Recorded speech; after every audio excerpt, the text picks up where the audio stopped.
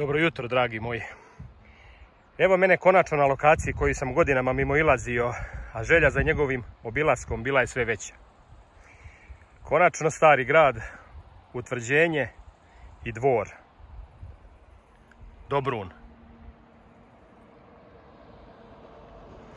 Mesto toliko mistično, a tako atraktivno, nažalost zaraslo, zapustelo, u jako lošem stanju put do ove tvrđave praktično ne postoji.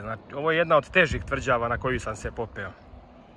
Toliko su stene okomite da praktično sam puzao na nekim mjestima. Ispod je reka Rzav sa plažom Ljubavi.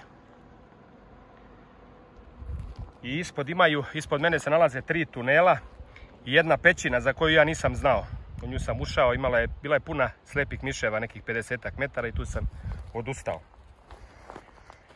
E, evo je dole ispod se nalazi prelepa Careva džamija iz 1445. godine. Tu je pored Begova bivša kafana na raskrsnici puteva Priboj Višegrad Južice.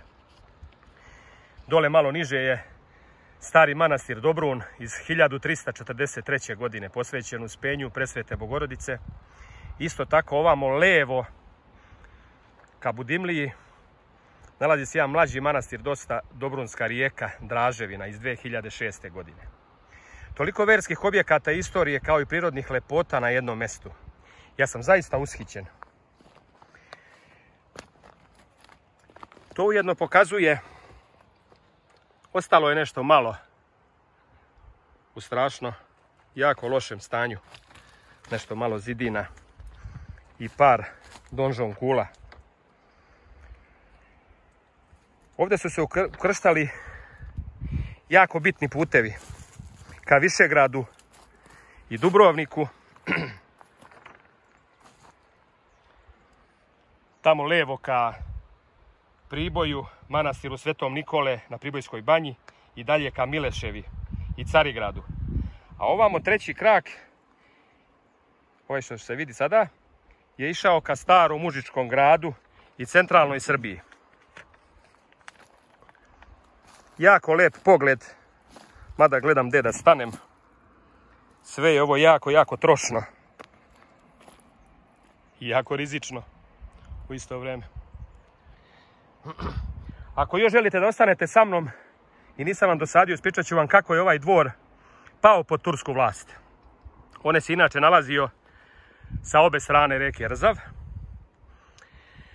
Ovaj do tada neosvojivi grad, u što sam se sada uverio da ga je bilo, koga je osvojio, svaka mu čast.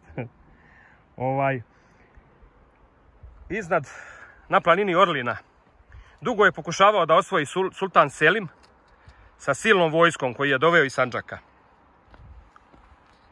I ko zna kada bi tvrđava pala da nije došlo do izdaje jednog manastirskog meta Jovana Kalauza, Kalauz je naime sklopio dogovor sa sultanom kako lako doći do osvajanja dvora. Kalauz reče uskoro će krenuti svatovi iz Hisarđika, to je sa ove raskrsnice tamo levo.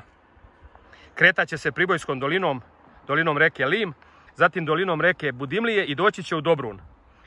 I da skratim priču, sultan povuče vojsku iz opsade, sačeka i pobi svatove niže Priboja i tamošnje groblje dan danas zadrža naziv Svatovsko groblje. Priča dalje kazuje da su se Turci uputili ka Dobrunu prerušeni u Svatove i kada su se Dobrunjani, stanovnici ovog dvora, uputili da ih sačekaju, zametnu se dole u dolini, ovoj dole, zametnu se krvavi boj, tako Turci sa svatovskom pesmom osvojiše grad, a Kalauz sultanovim fermanom dobi celo Dobrunsko polje, to je dole dolina ispod, i napravi džamiju.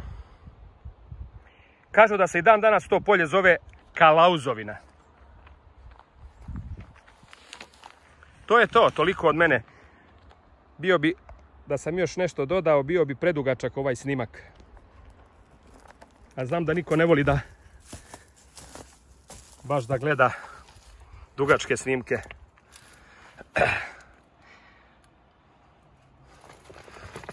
Evo je dole Careva džamija. Ona je ob- obnovljena 2006. Bila je porušena u ratu 92. To je ta bjegova kafana na, na raskrsnici puteva. I ovdje dole je reka Rzav. Još jednom železnička pruga.